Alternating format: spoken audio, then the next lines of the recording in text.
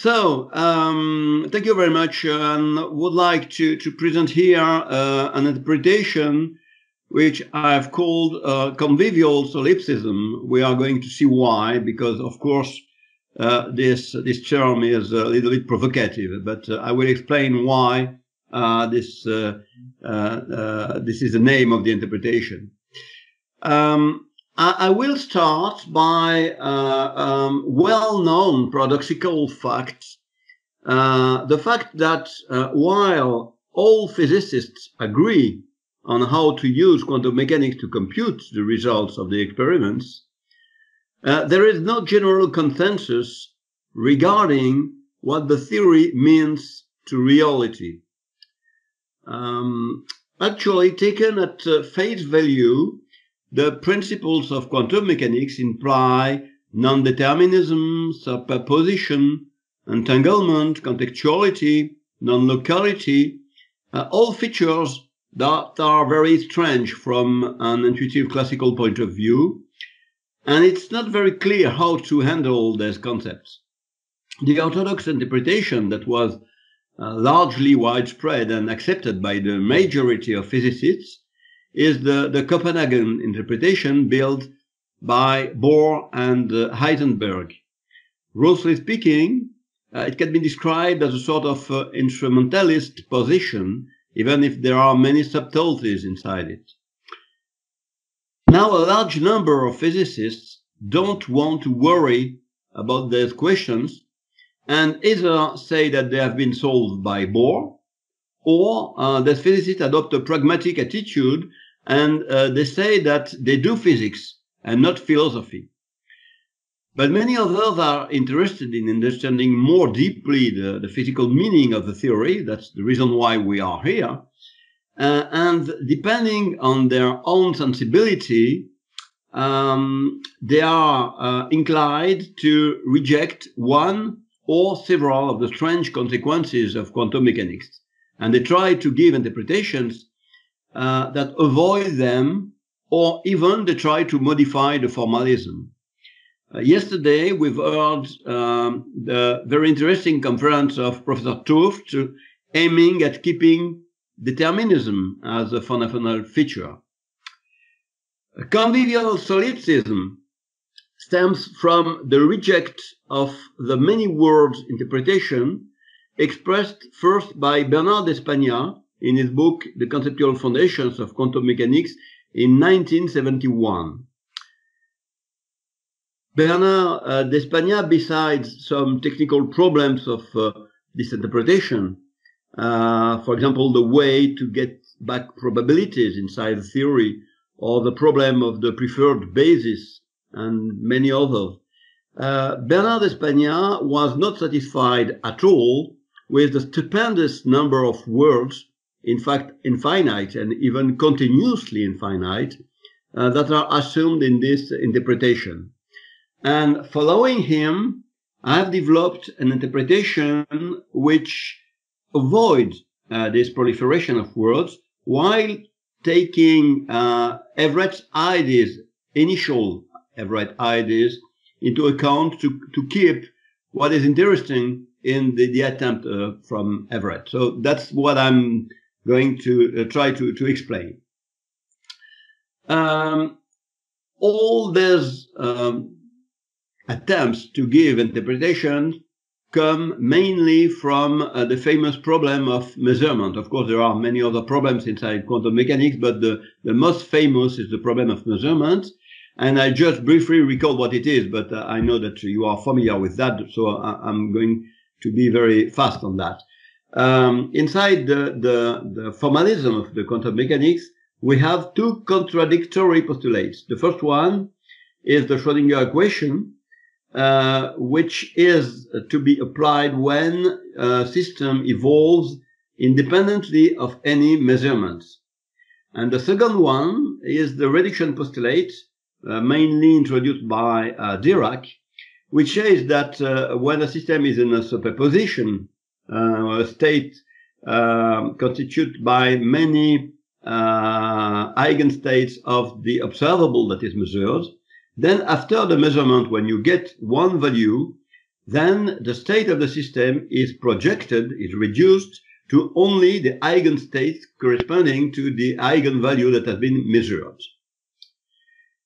Now, this measurement process can be seen under two different points of view.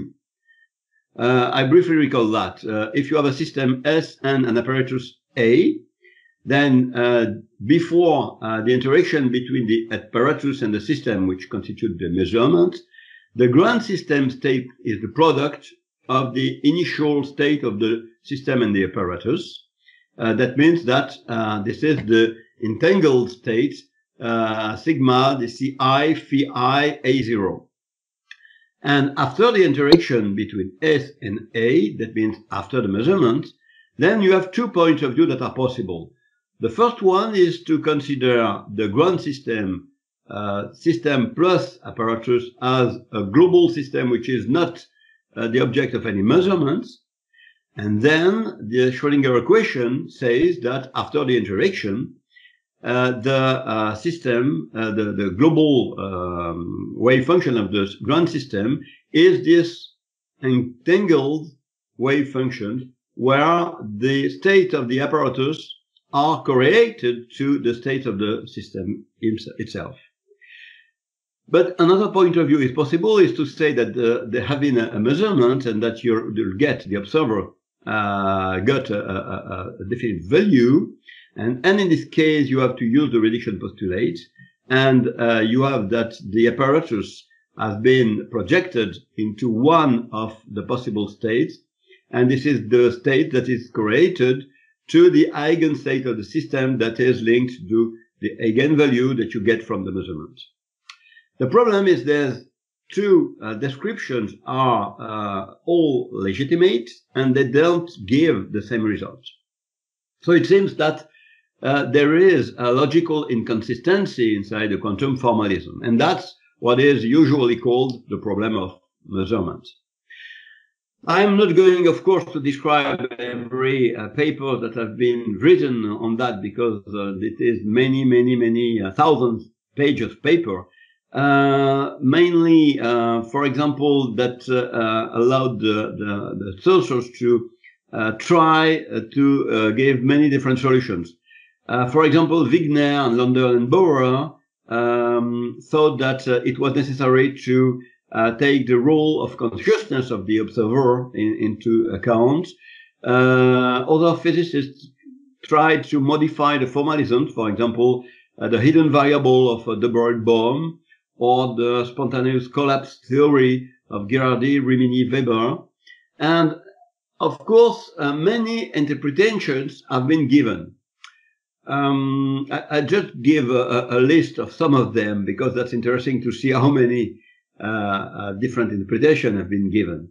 Uh, Bohr and the Copenhagen interpretation was the first one I, I quote.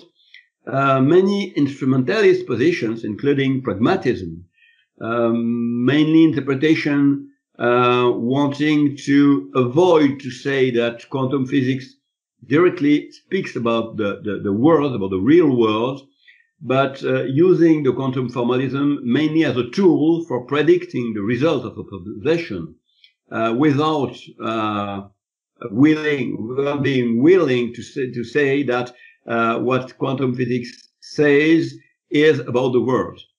Uh, more recently, Carlo Rovelli uh, proposed the relational interpretation. Um, a number of physicists invented the quantum Bayesianism, and of course uh, the Everett interpretation in many different versions and many others. Uh, I'm not going here to uh, give uh, all the reason why I'm not satisfied with all those interpretations because that would be very, very long. Uh, but for each one, there is a failure and something that is not really well working. Uh, that's true for Copenhagen, for Wigner, and Bauer, for Everett, in the different versions for uh, the interpretation of Carlo Rovelli for quantum Bayesianism, and uh, no interpretation really succeed in uh, giving uh, a satisfying global interpretation of quantum mechanics and solving the um, measurement problem. So uh, there is a series of questions uh, that to my um, view, a satisfying interpretation of quantum mechanics uh, would give a satisfying question. Uh, I give you the, I, I, just read the series of questions. Uh, what is a measurement? The first question is nobody is really able to define in a rigorous way what a measurement is. So the first question is what is a measurement? When and why only one of the many possible results is selected? If the measurement does not reveal a pre-existing value, which is uh, uh, usually accepted by all physicists, how is it possible that this value be created during the measurements?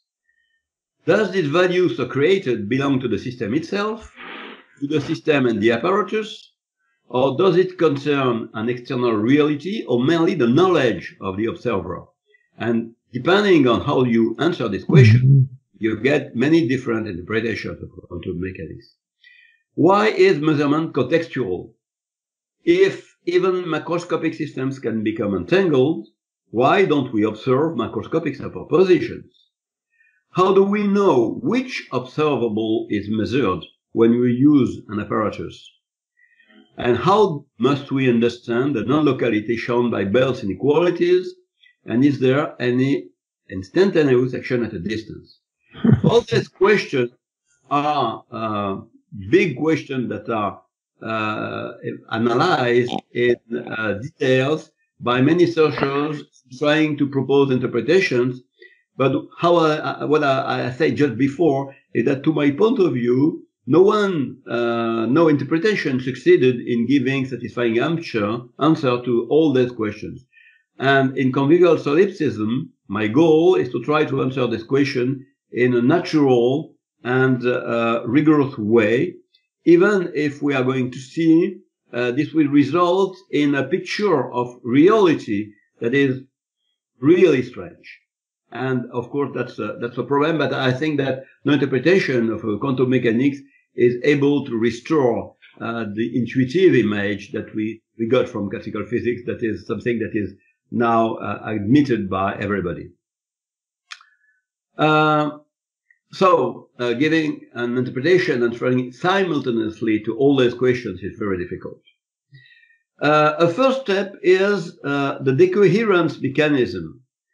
I'm not going to uh, give details of the decoherence mechanism. I suppose that you, you are familiar with, with, it. I'm just going to see what it achieves uh, and what it doesn't achieve. Uh, I recall that uh, the, the, the, decoherence came from uh, the, a remark from Zeh in 1970 that no system is really totally isolated and uh, that taking the environment uh, into account, uh, the final step was made Zurek in 1981 to provide models that are um, satisfying regarding to what we call now the decoherence process. So I'm going to uh, skip uh, the, the mathematical formalism just to go directly to the conclusion because the goal is not to make a, a confront on decoherence here. But uh, what is important is that uh, the decoherence process consists in taking the partial trace of the density matrix uh, of the system, the apparatus, and the environment, and taking this partial trace, uh, we get a diagonal density matrix, which has been assimilated to the equivalent of a classical mixture, then solving the problem of the superposition. That's the usual way the coherence process is understood. Uh, so uh, at the very beginning of the, the, the, the, the decoherence presentation, even Zurek said that it was solving the measurement problem. And then after many criticism of, of that, we know that it's not the case now.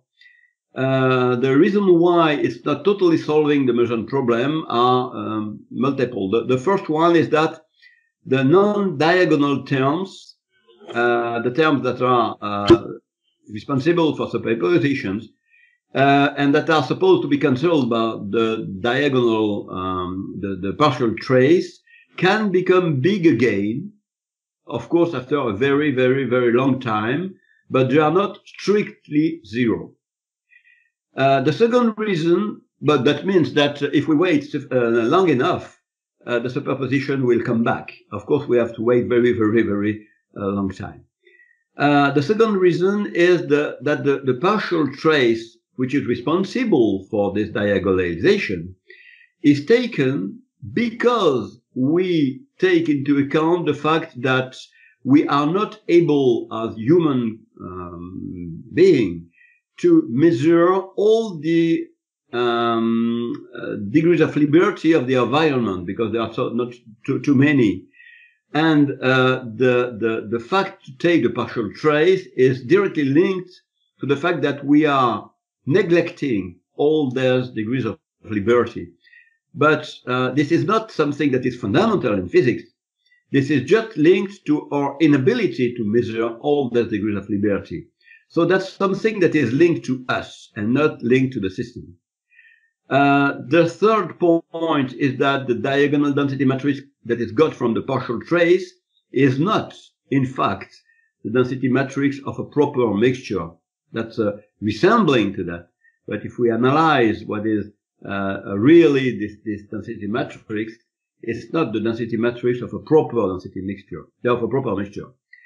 And uh, at the end, even if we get a diagonal density matrix, uh, Bell uh, signaled a, a, problem that to explain why only one value is selected and why uh, the final state is reduced. That's the famous Bell or and and problem, and that is not solved by the decoherent process.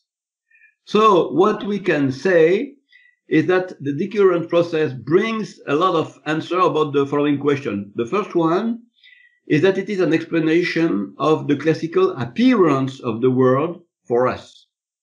It explains why we, as human beings, with our limited way of uh, awareness, are not able to see superposition in the macroscopic world. The second one is um, that uh, it explains also why there is a preferred basis that is chosen for uh, the observed um, results. I'm not going to enter into detail for that. But what is sure is that the underlying reality, if there is any, I'm present about that, remains in a superposed and intricated, entangled state. It's not reduced. So that's not a, a, a solution for explaining why, according to Dirac and the, the reduction postulate, uh, at the end of a measurement, the system is, would be really reduced. So uh, if we just consider the decoherence process, of course it's precious because it gives some explanation about the classical appearance of the world, but uh, it also says that the reduction postulate is nothing but a convenient way to describe the observation, but it doesn't correspond to any real physical process. So uh, the, the standard recipes of quantum mechanics uh, assume that we know what a measurement is. It is when a measurement is made, and uh, this is when the probability of finding a specific result is given by the corresponding diagonal element of the density matrix. But nowhere inside the formalism of decoherence it is said what a measurement is. And nowhere inside the quantum mechanics it is described what a measurement is so even after the decoherence process, we are left with the initial problem.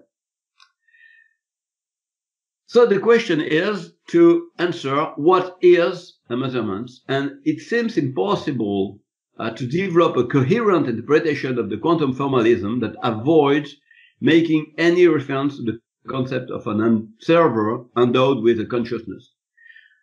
Of course, this is something that a large majority of physicists uh, doesn't like. Um, many physicists would prefer uh, to uh, stick to a strong objective description of the world and to uh, stay inside the framework or the philosophical framework of the classical physics where uh, you have the world that is outside, uh, and that would be the same even in the absence of any observer, and that the formalism just describes independently of any observer. Of course, this is something that we would all like, but uh, apparently, I don't know if it will be the case perhaps uh, in 10 years or if, if in 50 years, perhaps somebody will have find a solution. But today, uh, after having analyzed all the interpretations that are given, it seems impossible to explain what is a measurement uh, without taking into account the, the, the, observer. And all the attempts in this direction are um, either missing a point or not logical or having a sort of a, a failure in logic in their argumentation. So quantum uh, mechanics uh, including uh, the observer, seems to be at least an attempt to try to see if we can um, find an interpretation that is coherent, even at the price uh, to include consciousness, which is something that physicists don't, don't, don't like, and even if it is at the price also to modify the way we have to consider the, the, the reality. So we are going to assume that a measurement is made only when an observation by a conscious mind is made. That is a definition, that is an attempt, and that we are going to see what is the, what are the consequences of that. And, uh, of course, this is something that has been attempted a long time ago by Wigner, by London and Bauer. Uh, even um, von Neumann was was, uh, was uh, willing to try that, the only thing is that at that time, uh, it had been rejected violently by all the community of physicists because they wanted to um, say that uh, the reduction was a real physical process and that was due to the action of the mind on the matter. And of course, this is very difficult to accept that. And this is absolutely not what I have in, in mind and what I'm going to present. So, uh, of course, I want to take into account uh, the observer and the mind of the observer, but I absolutely don't want that this mind has any action on the matter, contrary to London and Bauer, Wigner, and, and von Neumann, which is something that is apparent to a sort of dualist interpretation, which is today not acceptable. So I will stick to something that Everett interpretation uh, has started to do. There is no physical reduction. And convivial solipsism is a sort of adaptation to Everett interpretation where there is no physical reduction of the, the wave function. And so, if there is no physical reduction, we have to explain how it's possible for us to see one result if the uh, wave function of the system um, stays uh, superposed and entangled with the, the other system and the environment. And that's something that uh, Everett gave an, an, uh, an answer uh, I don't agree with, and convivial solipsism is another uh, attempt to give an answer to this question. I start by Everett interpretation that you all know even if it's difficult to uh, um, analyze Everett interpretation simply because uh, there have been many, many, many different versions of Everett interpretation.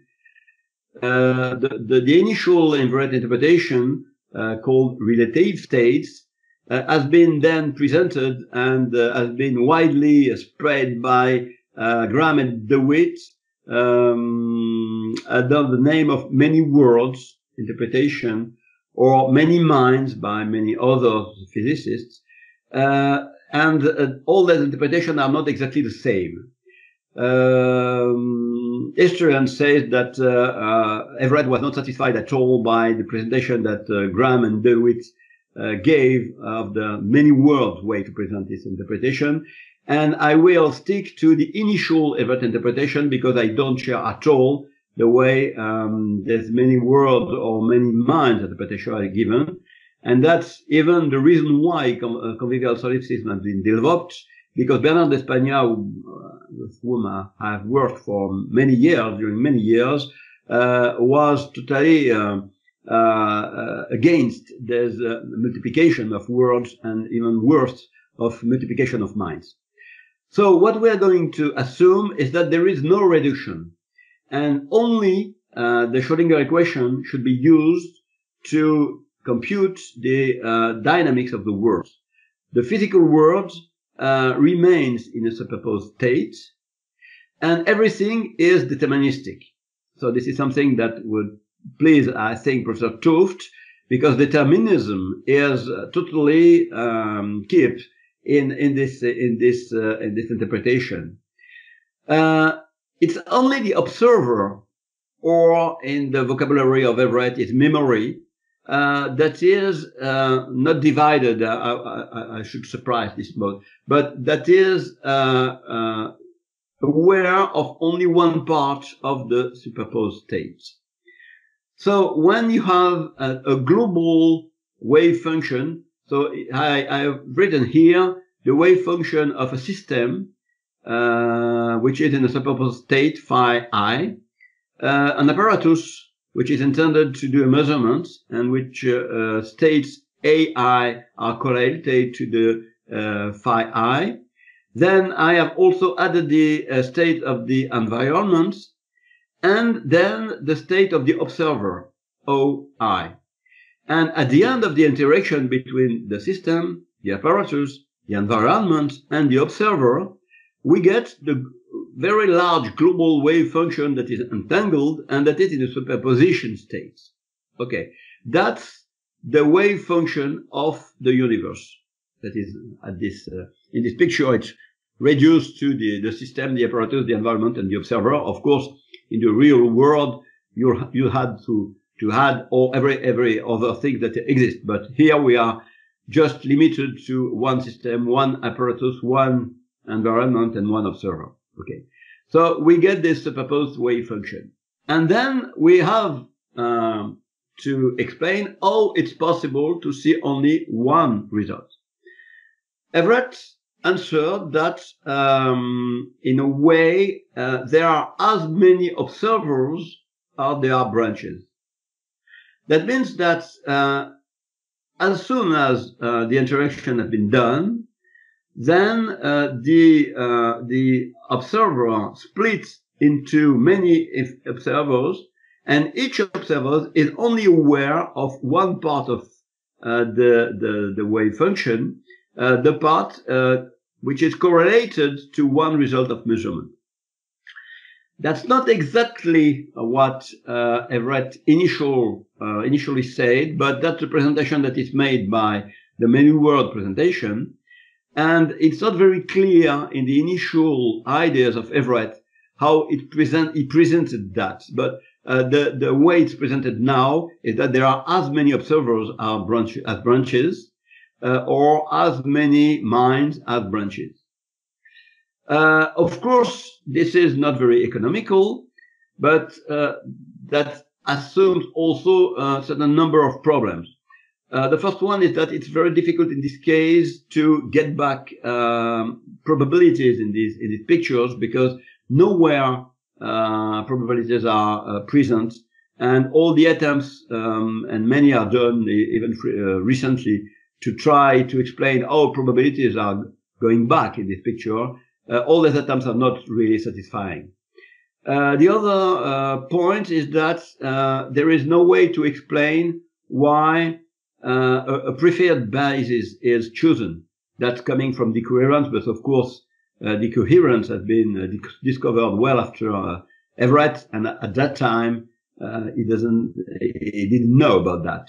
and if we don't um, take into account currents, then uh, you see that uh, this entangled wave function could be written in many, many different bases, each one giving possible worlds or possible observers. And there is no reason why uh, these uh, states would correspond to the states we really see. So that's also another point that is not very clear in this interpretation. Uh, and then, uh, if you take, for example, uh, the measurement of a spin, uh, half spin particle, by a Stern-Gerlach uh, apparatus, then you can write that in a, a many different uh, continuously infinite by bases, and that means that uh, you have a continuous infinity of of observers, which is not very satisfying at all, which is even very very strange. So that's the reason why Bernard d'Espagnat long ago uh, was reluctant to accept this interpretation, uh, and uh, this gave rise to the, the convivial solipsism that I developed after him. So I now present the, the convivial solipsism. Uh, you have here the, the, the um, papers uh, where it has been presented uh, for those who are interested. convivial solipsism is based on two main assumptions. The first one is the hanging on mechanism. I'm going to explain what it is. And the second one is that the states are relative to the observer. Uh, the hanging on mechanism is easy to understand. Uh, I start again with this uh, entangled global wave function describing the world after the measurement. So you have uh, the entangled states between the system, the apparatus, uh, the environment, and the observer. And what the hanging on mechanism says is that when the observer becomes aware of a result, our physical brain remains in a superposed state. So that means that physically nothing happens. And the brain of the observer is in a superposed state.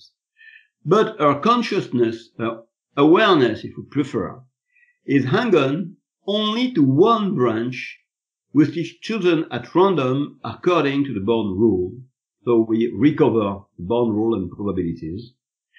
And what that means is that when an observer is looking at a situation that is described by this superposed state, then, due to the limitation of our brain, because our brain is not able to become aware of the subtleties of uh, this superposed uh, wave function, we are only able to see one part of it, as if uh, we had filters in our brain uh, preventing us to see the complexity of the superposition. And those filters act for limiting us uh, to see only one part of the superposed state, which is the branch to which we are anchored. So that is uh, something that is uh, explaining why, while the uh, superposed states remain in an entangled state, we as observer are only able to see one part and one result.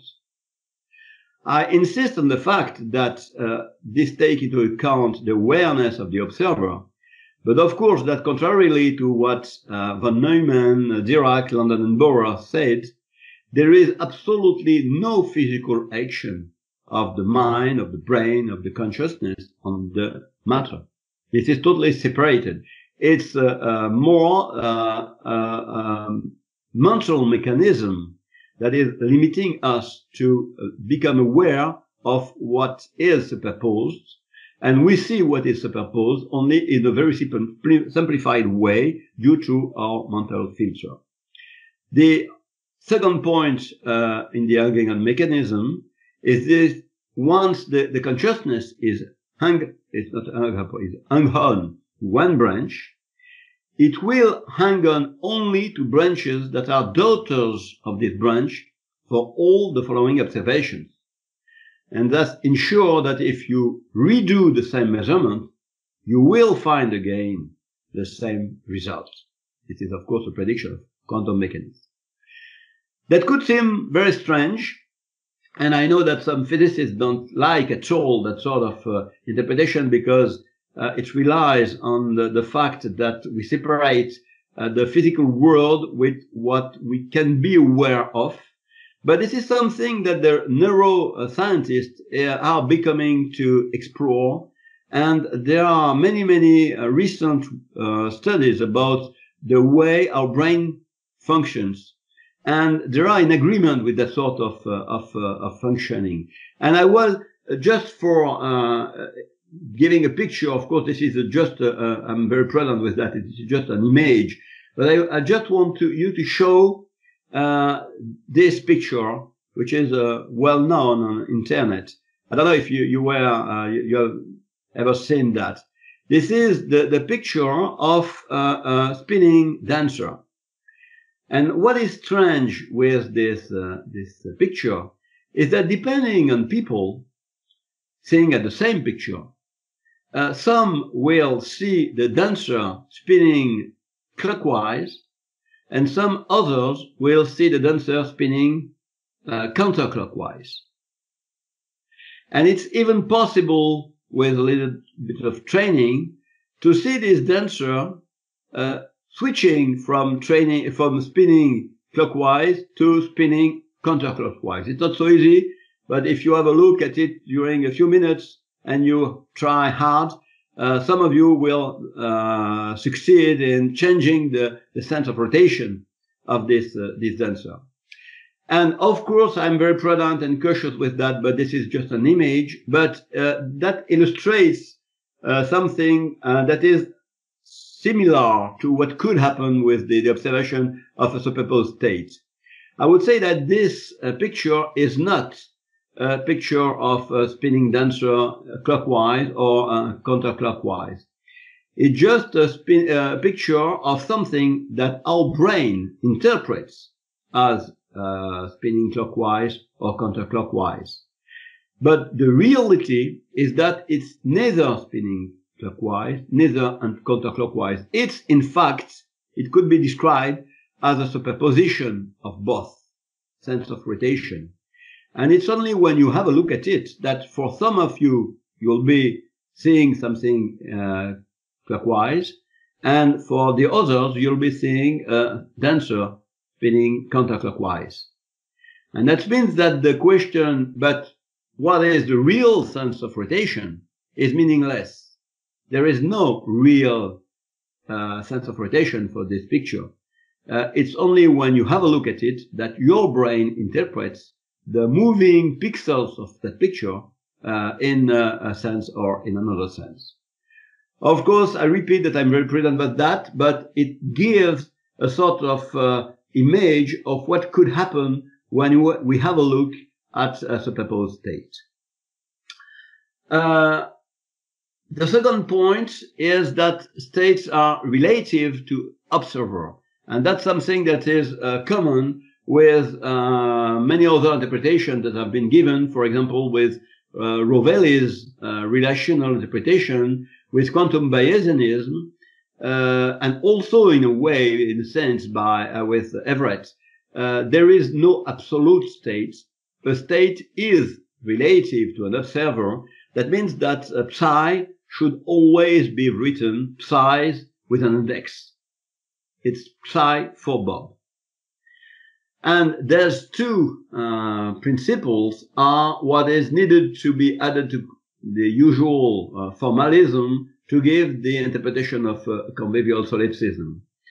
Um, so uh, the Young mechanism can be uh, summarized like that when at the end you have uh, a global wave function. For example, if you measure half spin particles with a possible plus or minus along the uh, z-axis, then at the end you have this entangled function of the particles, uh, the apparatus, the environment, and the observer, and then uh, having a look at that global wave function, then the observer uh, ends being in either uh, the state where he saw plus or the uh, state where he saw minus.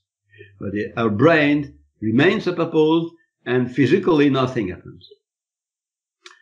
So that means that uh, God doesn't play dice here, uh, according to the famous uh, Einstein's sentence. Uh, God, God doesn't play, play dice because uh, the physical world is only evolving according to the Schrodinger equation, which is a deterministic equation. But you do.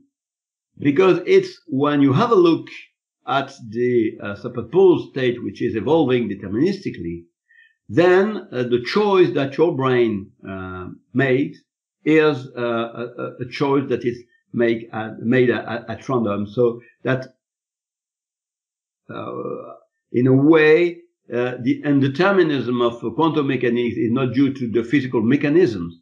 It's due to the way we select at random one way to be aware of the, the superposition.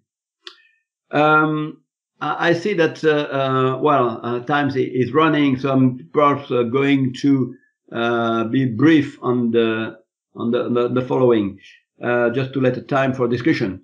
Um, the, the point is that uh, the consciousness uh, remains uh, hung on the branch and daughters of the branch, but can never switch from one branch to another one and that guarantees that repeating the same measurements will give again the same results. Uh, then I, I switched that, but um, a very important point is um, why this is called convivial solipsism. Uh, of course, the question is uh, that if uh, two observers are looking at the same superposed states, then because uh, each uh, brain could choose different branches, uh, it, it, would be possible to have a conflict between two observers, as it is the case with the, the, the spinning dancers. Uh, if you communicate between uh, you, you perhaps some uh, Bob will say that he has seen the dancer spinning clockwise, and Alice will have say that she, she saw the, the dancer spinning counterclockwise. Uh, in quantum mechanics, that's not possible. And this is due to something that is very important. For any observer, the other observers are nothing else than physical systems. And when an observer talks to another observer, this is nothing else than a measurement of the second observer by the first one. Because everything proceeds by physical means. That means that when Alice asked Bob about his results, then she will uh, ask uh, that through a measurement of Bob. And as Alice is hung on to uh, one branch of the superposition, she will hear Bob saying that he will have found exactly the same result that Alice because it's the part of the superposition wave function, the superposed wave function that is linked to the branch to which Alice is hung on, that uh, Alice is, is measuring. And this guarantees that there will be no conflict between what Bob has perceived and uh, what she will hear from Alice. And that's the reason why this is called convivial, because even if we have no way to know what really each observer has seen, then communicating between them cannot lead to any conflict and everything uh, will be in agreement. Uh, that's the, the, the, explanation that I will just summarized here. Uh, that's also the reason why in this interpretation there is no spooky action at a distance in the Einstein, Podolsky, Rosen experiments. So uh, convivial solipsism uh, is able to avoid non-locality. Uh, I'm not going to develop that into details. I just give the, the, the, fundamental reason for that. It is the same than for the, the fact that there is no conflict. Uh, assuming that you are just making the usual presentation of the uh, EPR experiments, I just give the, the end of the, the, the story. It's only when Alice asks Bob what value Bob saw, that this value is defined for Alice. Because before Alice asked Bob, that is, measured Bob, Bob was in a superposed state, and everything that was linked to Bob, including the second particle that has been measured very far away, was still in a superposed state. And when Alice asks Bob, that is, measured Bob, then she just hang on to the uh, part of the superposed wave function that is linked exactly to the value, correlated to the value that she measured. And that's absolutely not instantaneously. And that, because that happens in the future of Alice uh, compared to the measurement that she, she made. And then we don't have the spooky action or the immediate action at a distance, assuming that when Alice measured the first particle instantaneously, the result for the second particle was determined. That's absolutely not true because there is no physical action uh, made by the, the measurement. So that solves also the problem of non-locality. Now, there is a strange question uh, that we can ask about this, this uh, way of presenting uh, things. Uh, in case of a measurement of the same observable, for example, the spin along uh, z-axis, is it possible that Alice saw plus and Bob saw minus? And uh, as I said, there can be no conflict. Uh, but what does that mean? Uh, that there is no conflict. Does that mean that the both saw the same thing? And uh, in fact, uh, it's not absolutely not uh, implied, but the, the formalism and it would be perfectly possible to think that uh, Bob saw minus and Alice saw plus, while Alice asking Bob will hear minus. Okay, and uh, if we extend that in a very strange way, uh, that would mean that you can think that you're talking at a colloquium on quantum mechanics uh, with your friend Bob, while Bob thinks himself that uh, he is eating at a restaurant. And that, that seems very, very, very strange. But the fact is that this is a question that in this framework you can't ask. This is meaningless. Because the sentence uh, explaining from an external point of view what really Alice saw and what really Bob saw is not possible to announce in, in that framework. The sentence could be only said by a meta observer of a third person perspective, a sort of God perspective, who could know what Alice and Bob perceives internally. And such a meta uh, observer does not exist. So in this framework, we are not allowed to speak in third person perspective. That means that this natural and intuitive question, which receives a, a very strange answer, is not allowed.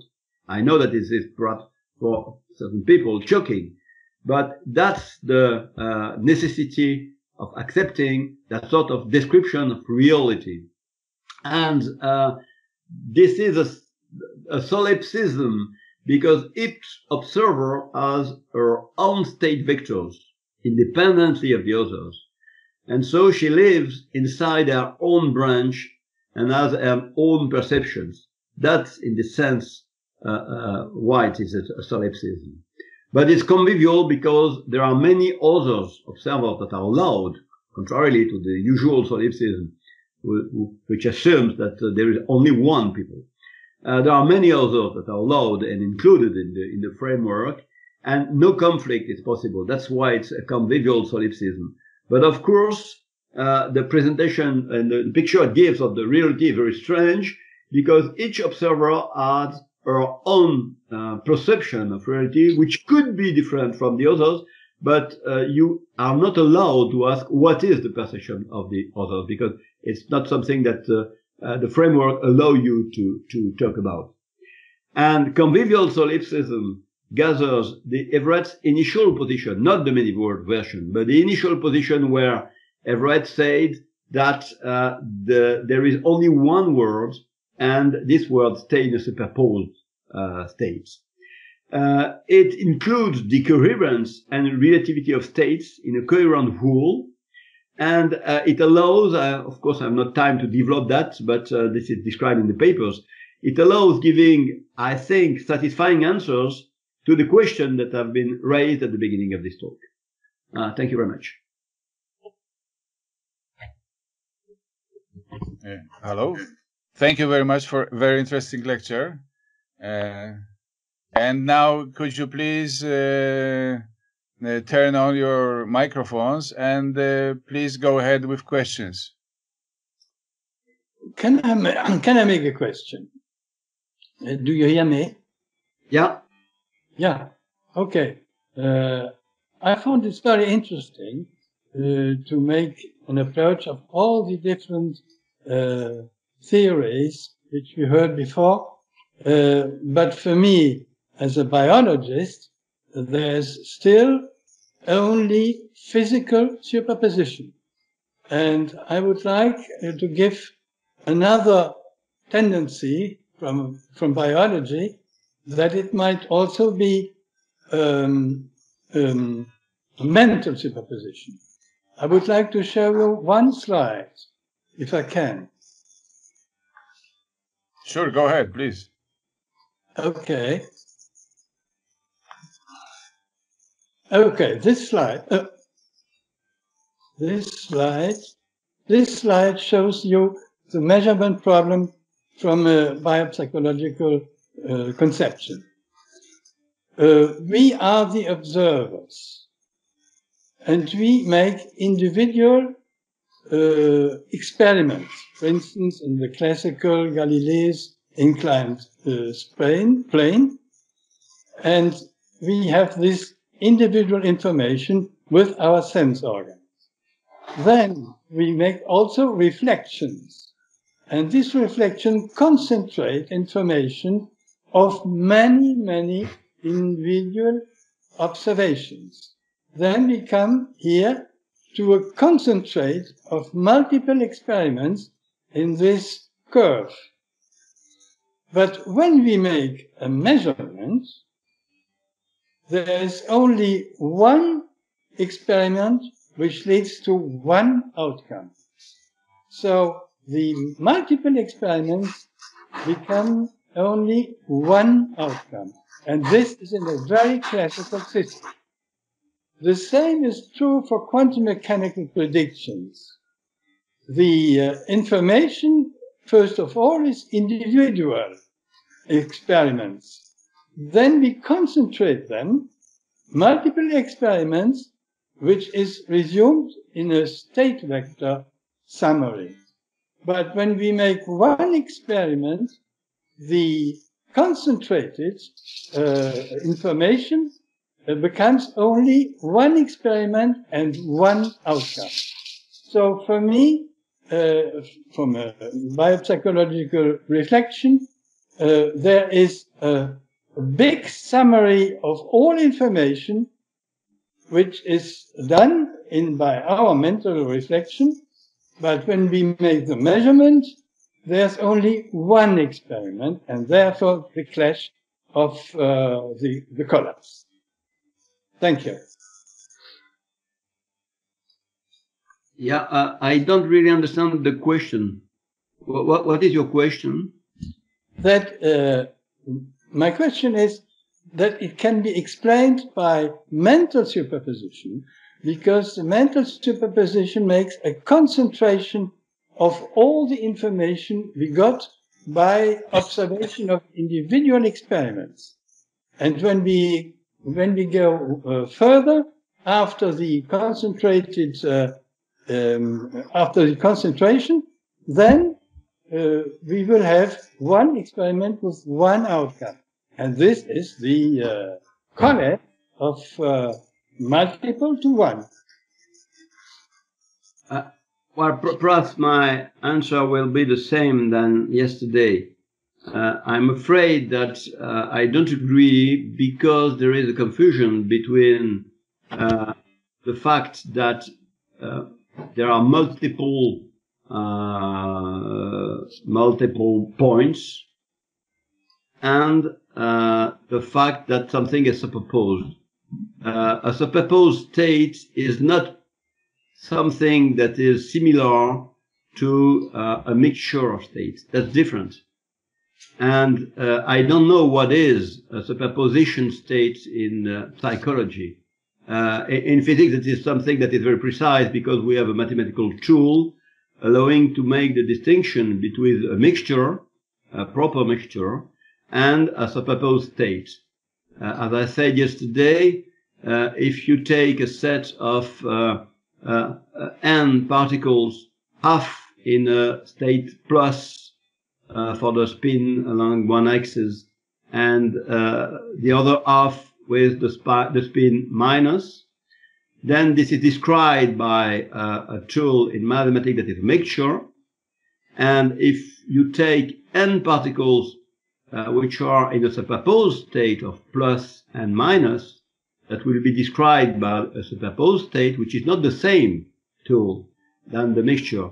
And the prediction that will, that you get from the mixture are not the same than the predictions that you get from the superposed state. And I don't really see, because that's not, uh, well, I'm not an expert in, in, psychology, but I don't really see what that means uh, when you uh, when you mention the, the mental states, because I don't know of any formalism for mental states. Mathematical formalism for mental states are not very uh, very well known. Um, the uh, mental superposition seen from biopsychology is essentially uncertainty. If we have an uncertainty situation, we can only make multiple uh, multiple um, uh, theories, uh, the, which which only of uh, only one of which will be realized later on. So in psychology, is essentially the uh, uncertainty, which is identical to superposition. Okay. But there might be different uh, superposition yeah. in, in, physics. Why not? Uh, that, that I understand. Uh, that that's probably the reason why uh, things are different and why the the the the hypothesis that the mental superposition in your sense uh, cannot solve what we physicists want to solve because what we call superposition is not totally the same thing that what you in psychology call uh, superposition. Uncertainty in physics is not superposition. Superposition okay. is something more than just uncertainty. You can have uncertainty in physics, uh, and it can be described by a mixture. Superposition is something that is essentially different, and I'm not sure that uh, there is any uh, corresponding things in, in, in biology. I don't know, of course, but and I understand that your, your, your hypothesis is more linked to uncertainty, that's what you say, than to yes. superposition. And superposition is something different. So uh, uh, your proposition is not able to solve what we try to solve in, in physics. Okay. May I, I, give a comment, perhaps? Uh, may I comment in? Uh, yes, uh, sure, please go ahead. What I've heard. Um, I noticed that you you cite uh, D'Espagnat, and uh, the way you do it looks at his views are much closer to mine than than what yourself are thinking or what other people are thinking. Um, I, I just want to state that when you take for granted the idea that there should be ontological states as opposed to um, to superpositions, then uh, life becomes a lot easier. The measurement problem, for instance, practically disappears. Um, and uh, which, uh, what you have to understand is that, that quantum mechanics is a model of reality, a model that we use to compute things, but that doesn't mean that superpositions are really physical entities at all the physical world only wor works with with certainties being yes or no, with nothing in between. Um, now, if you if you take a, a, model, then you can, for instance, look at the vacuum state as opposed to a state which with a particle in there. Both are superpositions of ontological states. So it's very difficult to say the vacuum is ontological. No, it is not, not completely. But um, also, the one particle state is not an ontological state, but certain superpositions are. Now, if you talk about one particle, there's no way to say what is the true reality of nature. But now take a thousand particles, and now you can say now what we call the vacuum in, in the world around us looks a little bit different from the state with a thousand particles in there. Now, if I take instead of a thousand, I take thousands of such boxes, and I get a million particles.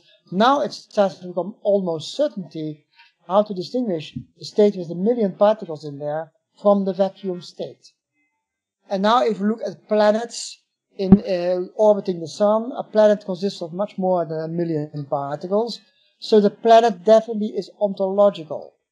And um, uh, all states with classical objects all around us are then on ontological. From there, it is a small step to say, well, then also the hand of a uh, uh, of, of, of an, uh, a measuring apparatus is also ontological. And in fact, our consciousness is also ontological. Just because all those notions are macroscopic. So once you, what you have to do in physics is to separate the macroscopic things from the microscopic ones. Our models are not sufficiently accurate to distinguish uh, between a macroscopic state there, here, and here, to distinguish that from purely ontological states. They are ontological. So once you say that, when you, when you take a measurement, you say, then I can, uh, I know what the ontological outcome of a measurement is. So um, that is uh, just a church in one and zeros. But when I look at the atom in our model, the atom in our model was a superposition of states, of ontological states. One of these ontological states is the true state nature is in. And if in the initial state that we worked with, we took the Born amplitudes, the Born probabilities to define the superposition coefficients, then the final state has the same superposition coefficients, but only one of them is truly ontological. So that now you say, okay, I put in my initial state the Born interpretation of the superposition coefficients. In the final state, it will be the same thing because these Born amplitudes are absolutely conserved in time. There's an ontological ontology conservation law of nature. If you take the combination of these facts in our model, then the measurement problem becomes becomes automatically guaranteed to work the way it's it's said in what we used to call axioms of quantum mechanics. Those are not axioms, those are not additional conditions in our theory. They're just a natural consequence of the way we set up the computation technique in our models. So as a physicist, I say quantum mechanics is a model. The superposition coefficients are models of probabilities. They are conserved in time. And that is why when we do a measurement, we find those same Born probabilities back in the measurement. The universe always was only in one ontological state. So this is the extreme opposite of the many world interpretation. But the many world interpretation comes about when you look at what we call a particle and what we call a particle with spin up or spin sideways or spin down. Those, those are then not ontological, but they are gadgets that we use to do our computations with. So because of these facts of our models, we are dealing with situations where we don't know for sure what the real, real situation is. Whereas the universe for sure works only with ontological states. So this takes away much of the apparent mystery of quantum mechanics. The problems that Wigner had with his friend, you know, Wigner's consciousness uh, is then superior to his friend's consciousness or the other way around. Uh, all that becomes unnecessary. These notions become macroscopic. If you are a biologist or a psychologist, you're usually only dealing with macroscopic certainties, not with what individual atoms do. So you don't have to worry that what Alice uh, says to Bob, uh, or Bob says to Alice, is anyway different from in their own perspective from what the, the real world is. No. Once you talk at the level of macroscopic things, such as observers, there's only one ontology in our world.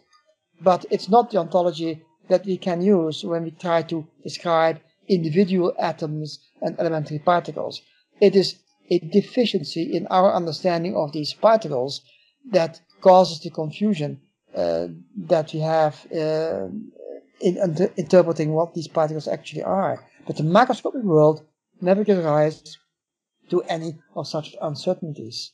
Uh, so well, um, this is just a comment rather than a question. I, I'm, I'm not sure I've understood the talk well enough to be able to, to criticize what you say, but um, it, it, looks as if uh, the the problem that people have with uh,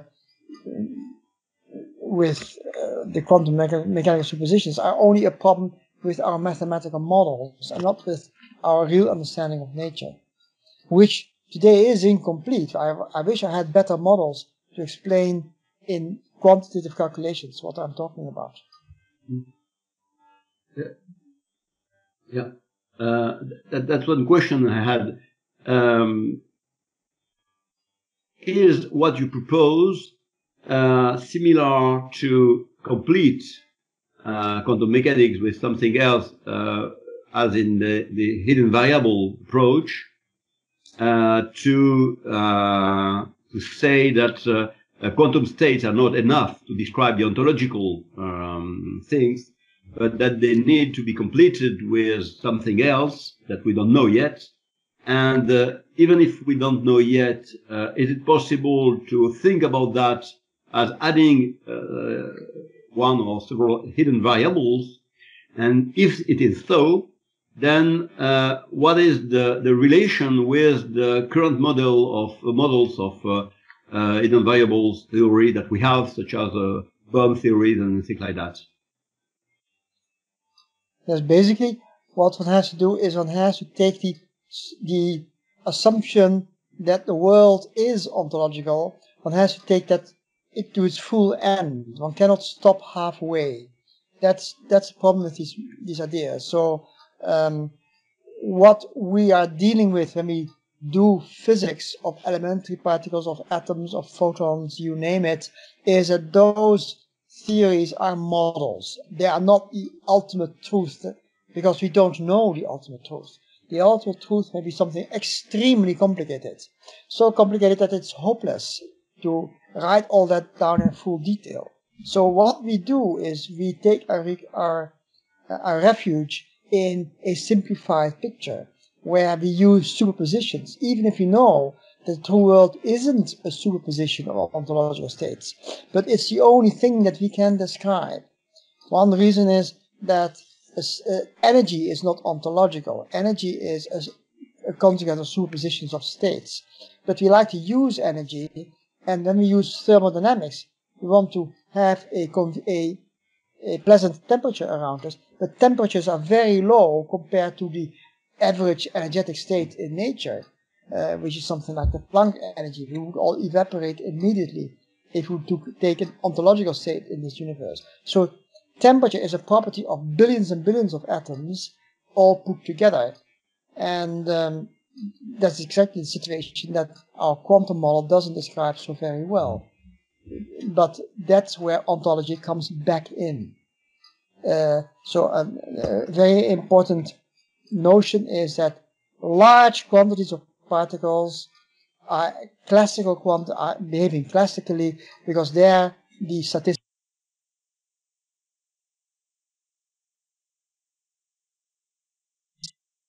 million particles from a state that's the vacuum state. That we can do for certainty in our models. But um, that's why there's no, no conflict anymore when you look at macroscopic things. The conflict comes if you want to take your atom or your photon or the fields that you describe in, in, in these particles, if you take them all to be ontological, they are not. What is ontological at that level is very, very difficult. And the reason uh, why we are so confused in understanding what we are doing is precisely because the underlying equations are too difficult for us to handle exactly. We are forced to use superpositions, and these superpositions give rise to all these confusions when we talk about large objects. I very much like the uh, uh, the uh, approach of Dr. 't Hooft. Uh, that the reality is deterministic, but so complicated that we cannot see it and that we need models. And these models are mental products, nothing yes. other. So they are mental. And we try uh, with these models to be the most near to nature's reality. Right. So Um, well, I'm not so very happy with the word mental. I mean, it, it is as if we are thinking some things which, uh, and what we are thinking is important to what nature does. Of course, when we do an experiment with particles at CERN, for instance, when they collide millions of particles against each other, has nothing to do with our mental state, of course. But we are making the uh, the laws, the physical laws. We are thinking how they could work. It's a mental work. That is right. So our models are not perfect, and that's Yeah, the cause of the the difficulties that we encounter. Yeah, yeah. That's very, very good. Yeah. Yeah. I have a, a question about the, the the ontology that we can't know, uh, at least today. Uh, is, in your point of view, uh, what what is the result on uh, a locality? Uh, do you recover locality wha- uh, or not in your? Uh, I think I, do uh, because I do not agree with uh, Bell's uh, uh, verdict about uh, locality being forbidden. That's I think that's a consequence of his definition of causality, which I do not subscribe to. okay. So I don't see any problem with locality, but I should add to that immediately that I do not have a completely satisfactory model of what happens in nature. As, as long as that's the case, you might attack me and say, sorry, but uh, we don't know exactly what locality is. And I agree with that. I, I uh, have difficulties in, in making these models completely uh, succinct and, and, and well defined. Uh, so, lacking that, I can't really tell you how local our theories of nature actually are. Okay. okay. But, but do, you- do you think that uh, the, the fact of recovering locality comes from uh, the fact that uh, uh, when you, you do the, the EPR experiment, um, the things are done from the beginning because everything has been determined at the beginning Yes. that would help to recover locality, for example, which is, uh, in theory, which is forbidden by by Bell. But if you don't agree with the hypothesis of Bell, of course, you, you can you can uh, contest that. But is it the reason why, the main reason why you recover locality? Because things are done uh, from the beginning. Uh, uh, sorry, I, I, I- I missed some of the question. Um, so, yes, one of the, the, the, the cause of our difficulties is that the, indeed the, the true models, the true reality that we are talking about might be infinitely complex or very complex. So that uh, when we describe an atom or a photon or whatever, we are simplifying reality enormously. The only thing we got are the superpositions of ontological states. Those you know how they evolve. To recover from that, the original ontological states is extremely difficult. Yeah. And uh, when you try, you discover you, you don't succeed. Whether that is because reality is non-local, I doubt that very much. I don't see a good reason why nature should be non-local. In fact, quantum field theory of elementary particles is so successful because we recover locality in these quantum field theories. We have a, a definition of what locality is there. I don't see why that definition should also not eventually hold up when we have these more complicated models of reality that we don't understand today very well. But I don't see why they should be non-local. And that's because I, I don't quite agree with, with Bell's uh, verdict about causality.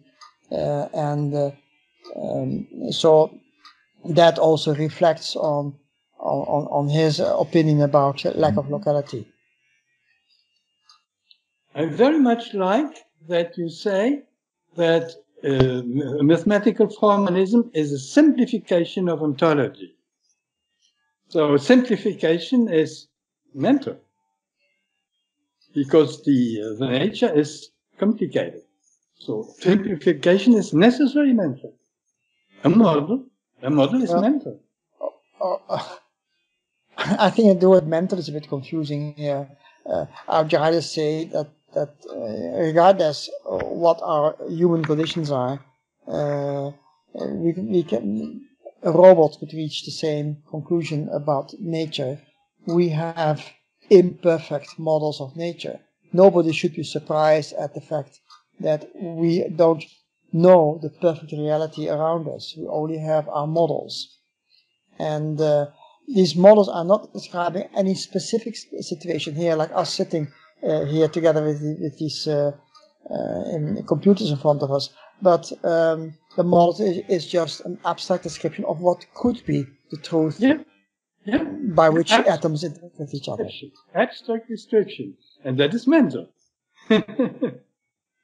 mental work to come to abstract description. Yes. I completely agree. Okay, if, if, that, if that's your definition of mental, then I'm fine. Sorry? If that is your definition of what mental means, I would have another association with the word mental, uh, uh, like uh-huh. a state of mind, uh, and uh, which is uh, too slippery uh, for us to, to use in our models. Okay, so for me, mental are functions with which we are working to come to abstract reflections, to your models. That's all. okay. I like it very much, what you said. Okay. Uh, I think uh, Dr. Street uh, was ready to ask the question. So yes, my, my question was that um, you know, there are many quantum effects. Probably the vast majority of quantum effects go on without any uh, observer being anywhere near them. I mean, the, you think of radioactivity goes on. So, I mean, people measure radioactivity, and that's a measurement with an observer, um, and they measure other quantum effects. But physics basically makes the assumption that what applies when, to, to events that for which there is no observer. And so, um, and the, the experiments that you do, what you see is a spontaneous collapse of the wave function. I mean, radioactivity, spontaneous emission of a particle. Um, in a laser, there's a spontaneous collapse that emits a photon. And one makes those assumptions that, that that's what you see with some probability distribution. Uh, one applies to a device, you calculate what the effect will be, and that's what that's what is that's what happened. So, my, I guess my question is, what is wrong with the notion that there is a spontaneous collapse with a probability distribution uh, and that the observer has no role to play in that whatsoever uh, it's, it's, it just it just happens. Um, and you know one can apply that uh, probability distribution to events that for which there is no observer. That, that's a that's a very good question because that's very frequently uh, an objection to that sort of, uh, of presentation. Uh, the reason is that when you say that uh, there is a spontaneous collapse uh, somewhere, that uh, there is a disintegration of an atom or something like that, in the absence of an observer, this sentence, in fact, is just something that you can say only in the case you made an observation afterwards, allowing you to say or to know that something happened before. But if something happens uh, independently of anybody, and that you have uh, at no moment any observation of a consequence of what happened, you can't say that this happened.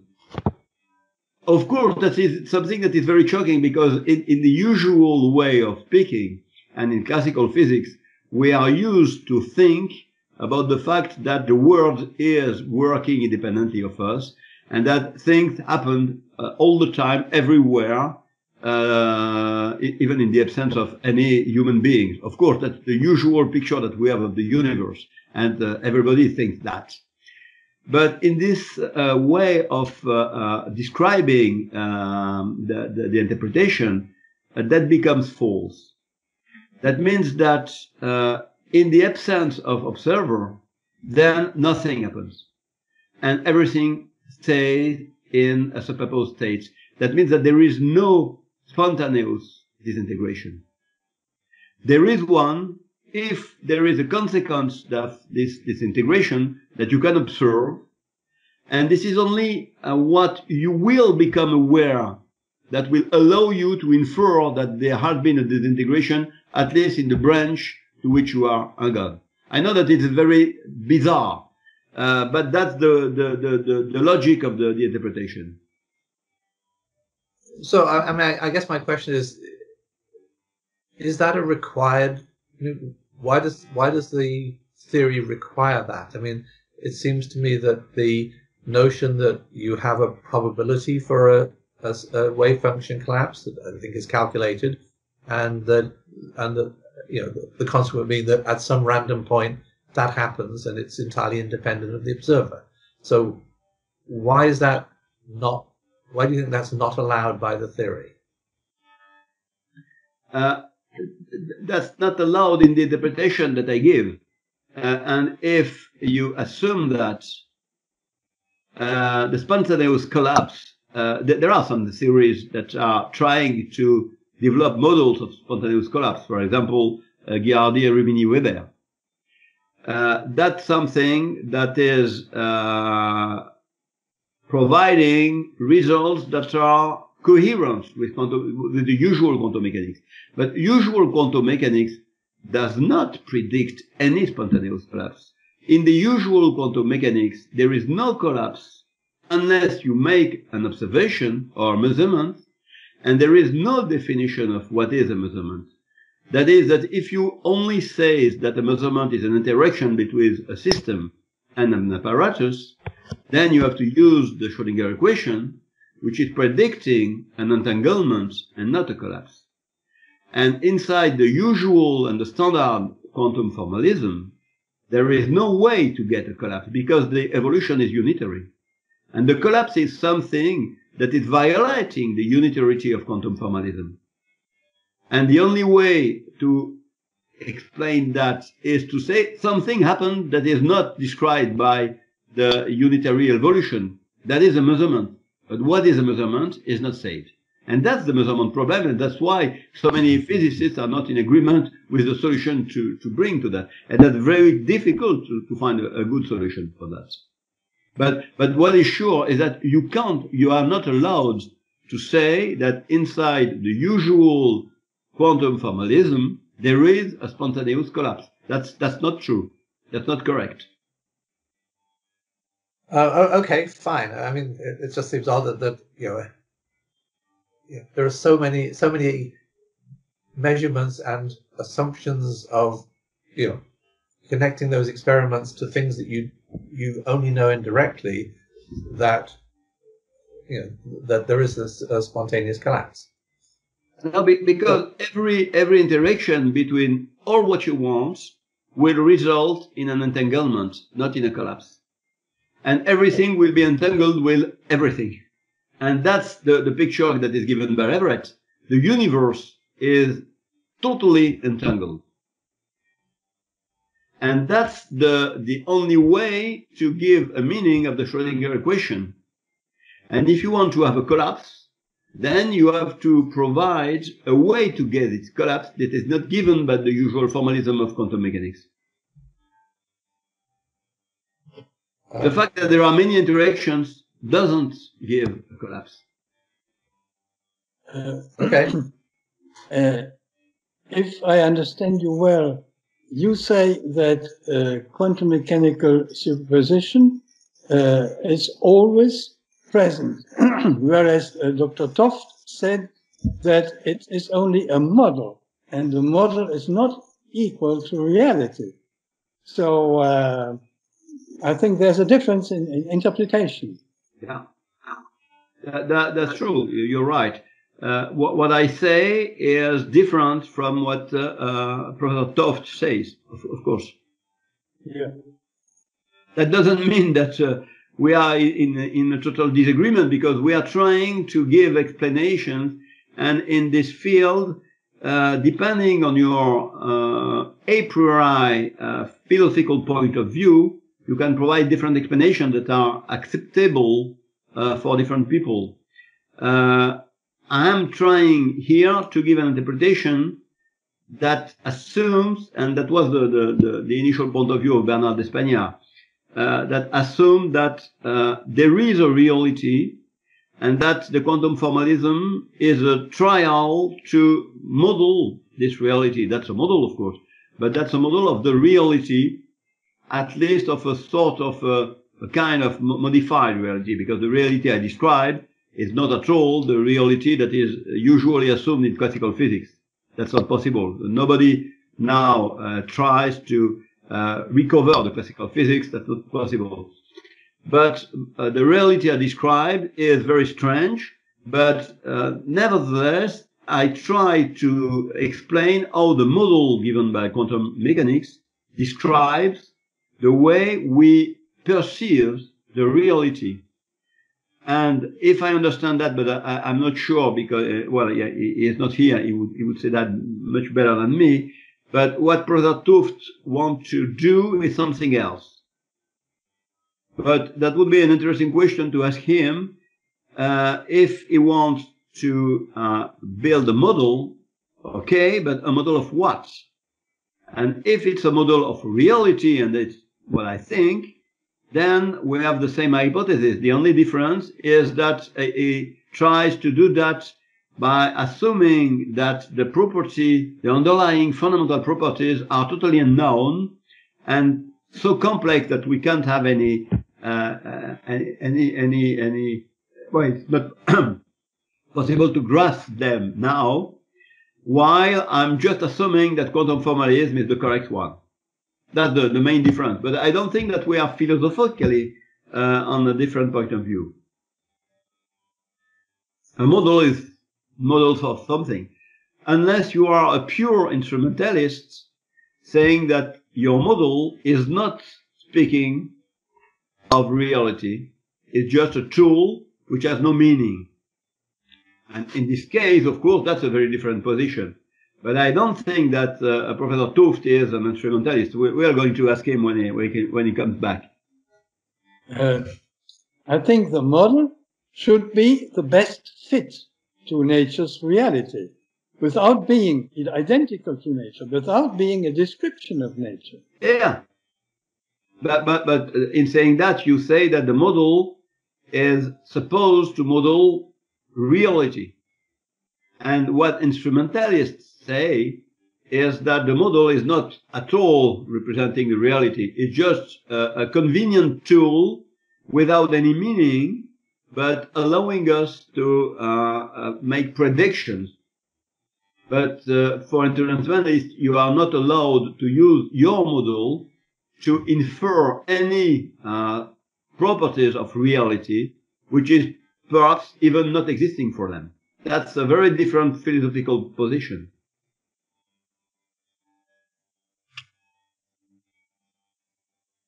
In any case, models may be changed. Uh, Newton's model had to be changed by Einstein's model. So that shows that uh, models are sometimes very different from reality. Yeah. Uh, Quine, one of uh, uh, famous uh, philosopher of science, uh, calls that the undetermination of uh, theories by experiments. And his thesis, which is widely accepted now, is that uh, you can make as many experiments that you want. It would be always possible to build very different and even incompatible models of the same physical events. Yeah. and that's in, epistemology, that is a thesis that is widely accepted now.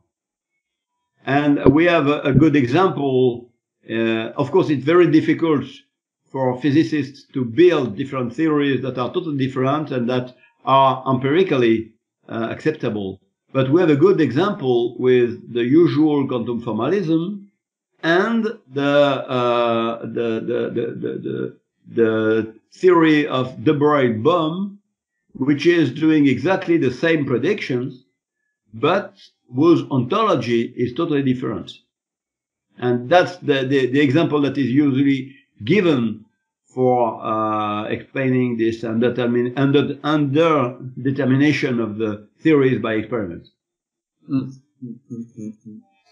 That, that means i- i- if we are extreme, that means that perhaps we'll never succeed in uh, understanding really the reality because we'll always have many different and incompatible models of this theory, of this reality.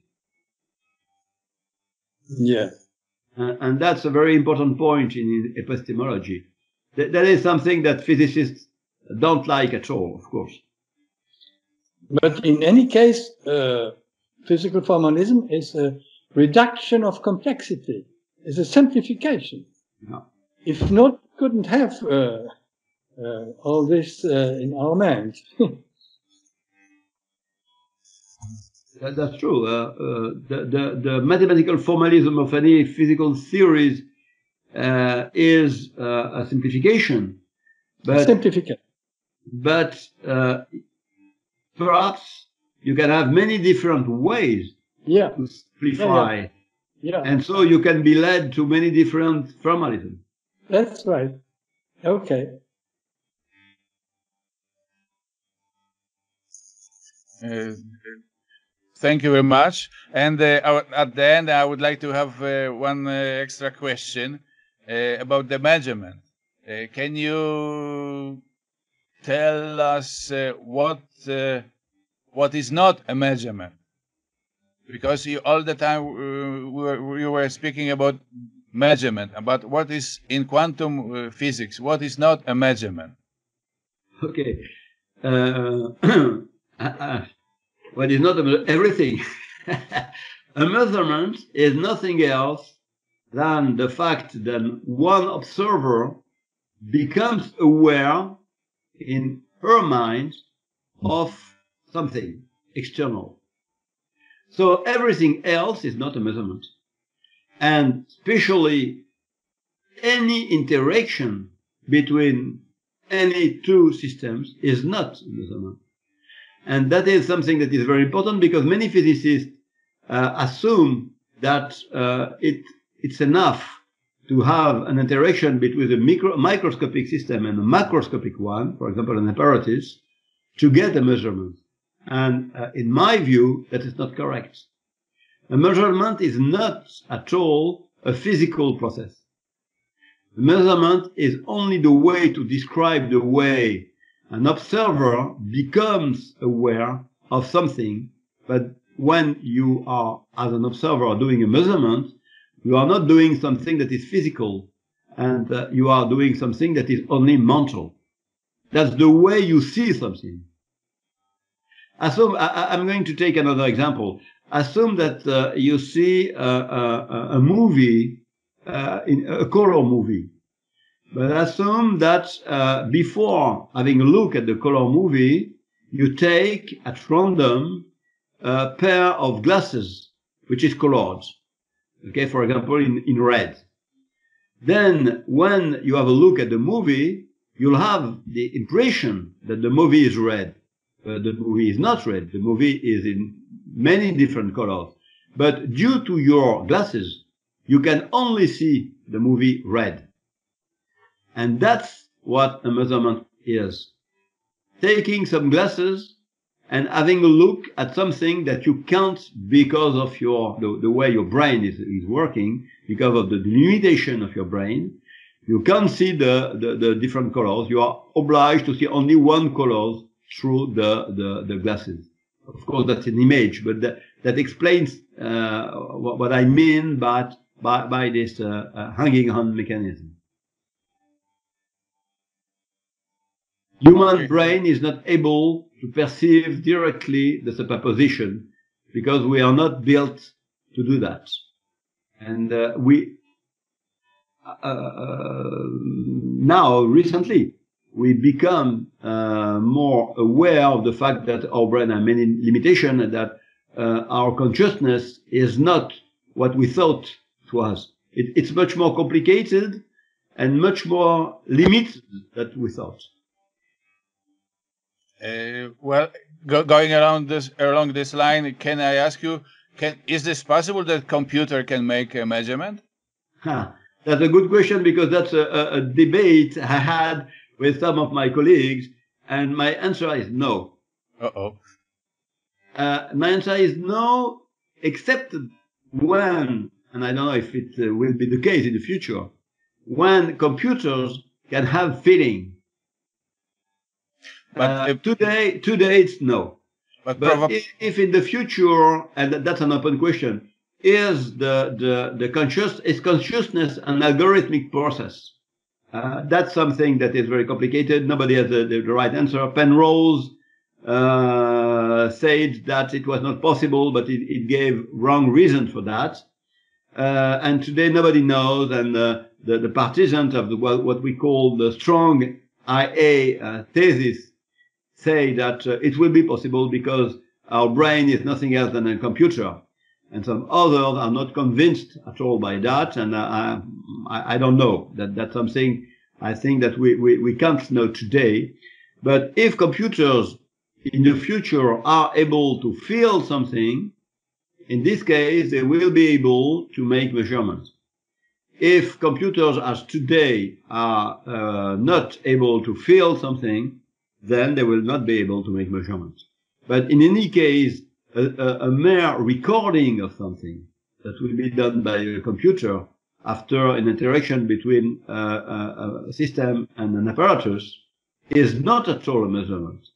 And that's a point that is very important because many of my colleagues developed interpretation in which uh, they suppose that uh, doing an experiment with a system and an apparatus and recording that uh, which with a computer is enough to make a measurement. And then they deduce that they have solved the, the measurement problem.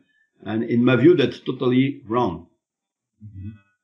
but uh, uh, but provided that you have a Turing machine, it's a theoretical concept. But let's let's say that we have a Turing machine. Is this the, would you accept that the Turing machine, the theoretical concept, is capable to do the measurement in the sense as you described before? No, that's the, the answer I, I, I gave just before. A Turing machine is nothing else than a computer. A computer is a Turing machine. That's the same thing. So right. uh, the question is, uh, is our brain a Turing machine or not? And we don't know. If our brain is a Turing machine, that means that in the future we'll be able to develop uh, software able to feel something. In this case, it will be possible to have computer doing measurements exactly in the same way that our brain does a measurement. If our brain is something different, then uh, no computer will be able to make a measurement in the future. And of course, I don't have the answer for that.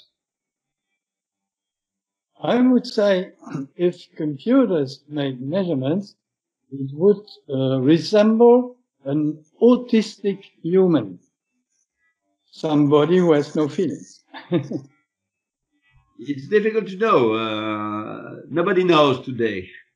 Well, I, I, well, I think uh, the computers they do make measurements. We just read in, uh, what is the output from the computer, and and that is the result of the measurement. Uh, uh, a, com- a, a computer, a today computer, is not doing a measurement because uh, if you uh, have a look at a computer in, in the, the, the correct description of quantum mechanics, the computer is entangled with the superposed system exactly in the same way than the apparatus is entangled. Mhm. And so there is no measurement made.